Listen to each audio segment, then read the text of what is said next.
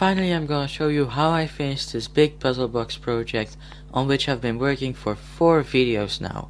Let's get started. So if you've been following this series, you know that I've been making all the sides of the puzzle box separately. In part 1, I made the two hidden symbol sides. In part 2, the symbol code and jumper wire connection sides. And in part 3, the shelf side. Now in part 4 we'll be bringing it all together. So the very first thing I'm going to do is upload this code to the Arduino Uno.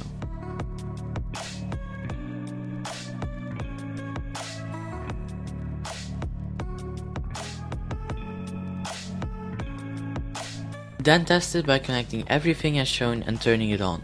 All the LEDs should light up red and if the servo isn't already in the locked position, it should move there. Now turn the tilt switch connected to pin 13 and check if the first LED turns green and the first symbol gets revealed. Now press all the right symbols at the same time and the second green LED should turn on, along with the second symbol and the first symbol turning off. Now for step 3 connect all 4 analog pins. If you don't know which goes where, just look at the circuit again. In my case, I already connected 3 or 4, so I just had to connect this last one, and then the third LED will turn on and the symbol off.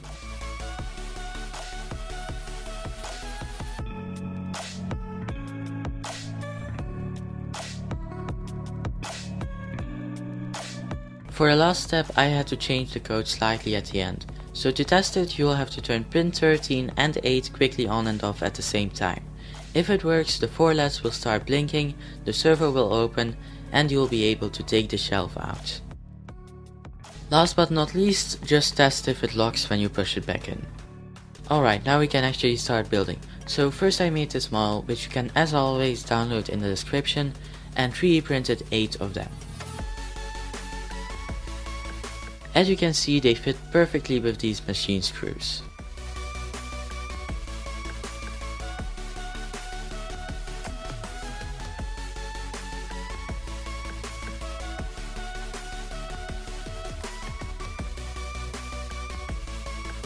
So to see if it would be strong enough without immediately drilling holes in the puzzle box, I took a few small pieces of wood to test the idea.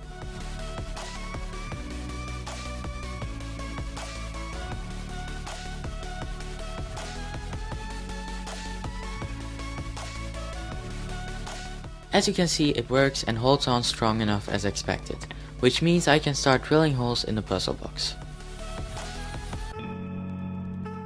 The reason I first drilled all the holes and then took it back apart to add the electronics is because I knew it would be almost impossible and definitely dangerous to start using a drill with all the small electronics already inside.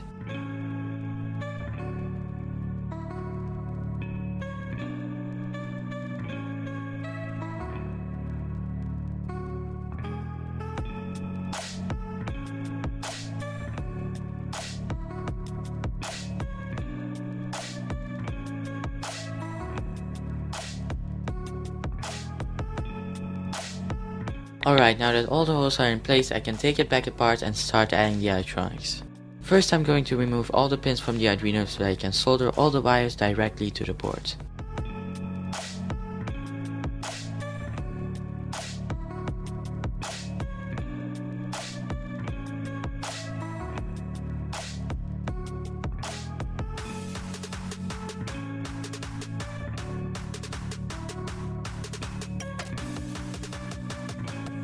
First the Arduino powering circuit. Negative gets connected directly to Arduino, battery and the DC jack, and positive gets connected the same, but with the switch in between the battery and Arduino. Now if I flip the switch, the LEDs on the Arduino should light up, if they don't, check the circuit and make sure the battery is charged of course.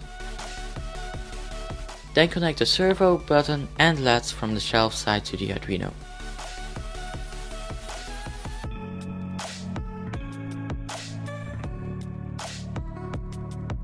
And of course also the two tilt switches.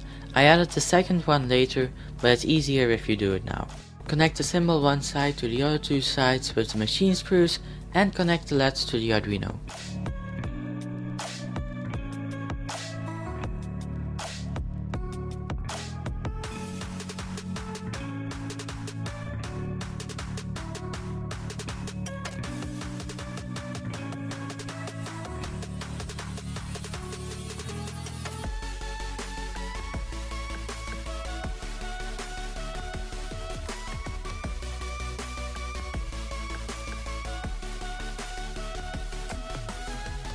Then connect the button side.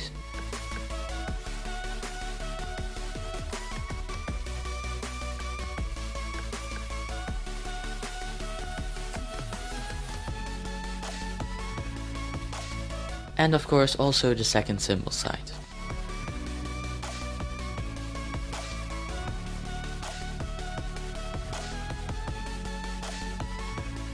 Now for the top part, I'm first going to connect the resistors to the right connections and glue it in place so I only have to worry about connecting the plus 5 volt and ground.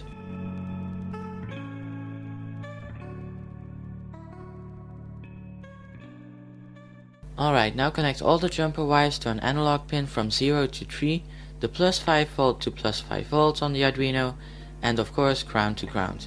But make sure to remember which wire needs to go where. I just took a photo on my phone and drew the connections. Then I just needed to finish some things off. For example, I made these small arrows for the top puzzle.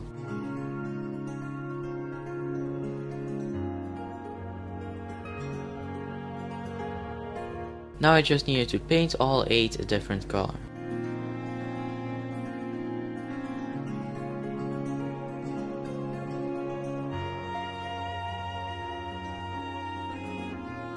And then glue them to the corresponding connection. That way it becomes a color combination puzzle.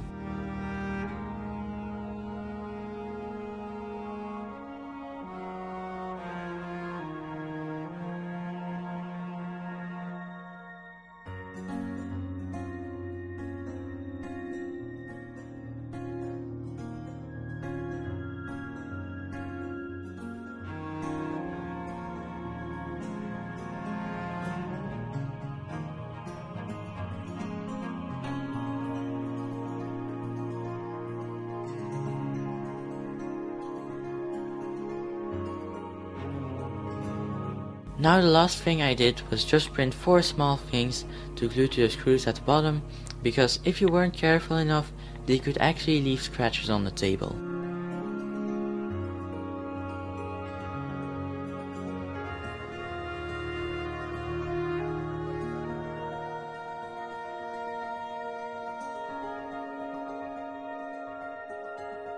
Alright, awesome. It's finally finished. You might have already found the solution to all the puzzles by just watching me build it, but anyway, here's the solution. So for the first step, you basically just need to turn it upside down. It's easy and the reason I didn't put any clues for this one is because eventually when looking around, people will try to look at the bottom side anyway. Step 2. Now we've unlocked the first symbol. As you can see, it's actually made up out of the vertical line, square, and 45 degree square.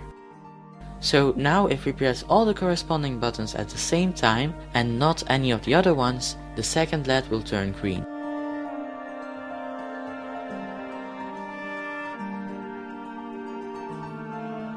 Step 3. Now we'll have to find the right color combination for the wires. As you can see, the second symbol has also been revealed. And I'm afraid I might have forgotten to say this, but I actually painted the sides as you can see.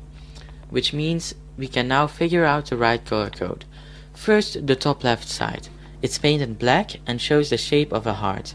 Hearts, especially in this shape, are red, so that's black and red. Then we've got top right, white border with the shape of the sea, so white blue. Now bottom left, purple border with the shape of a duck, purple yellow. And now last, bottom right. Orange border with the shape of a pine tree, so that's orange green. Now if we just connect all the wires in that combination, we've solved step 3.